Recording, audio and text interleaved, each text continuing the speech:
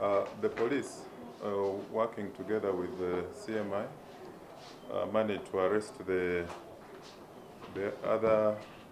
boda boda rider whom we basically wanted, called Mpanga Sharif, who facilitated uh, the double kidnap and murder and of uh, Maria and Ronald uh, when he transported the assailants or perpetrators uh, to Maria's gate and uh, he, he remained there on standby uh, waiting for uh, any emergencies to facilitate a getaway process and uh, he's also the one whom it is alleged drove ahead up to Mukono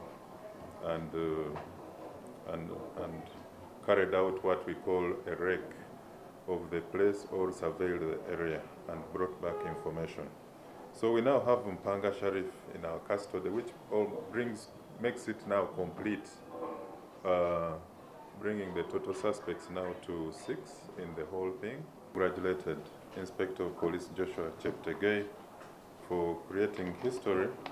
with his stunning performance in the World Championships in Doha,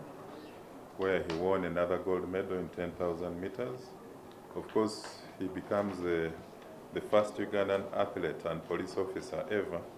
to clinch gold at uh, the World Championship in 10,000 meters to gold. So we are very, very proud of him.